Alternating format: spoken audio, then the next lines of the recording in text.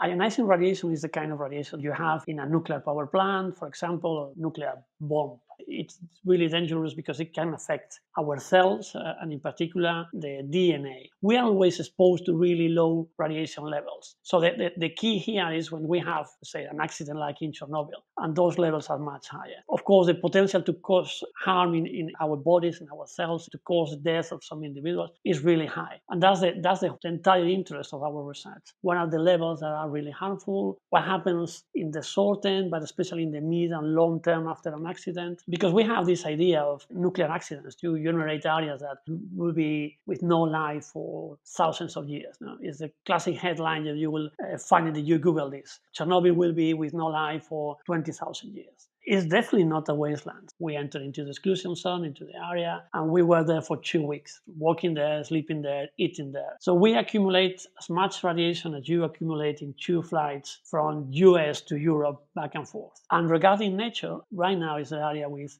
the highest density of wolves in the continent, brown bears that were extinct in the area because they were hunting to extinction. They are back in the area you have uh, beavers, you have elk and deers and lynxes and whatever species is almost protected and endangered in Eastern Europe, you have it there, and you have it in really big numbers.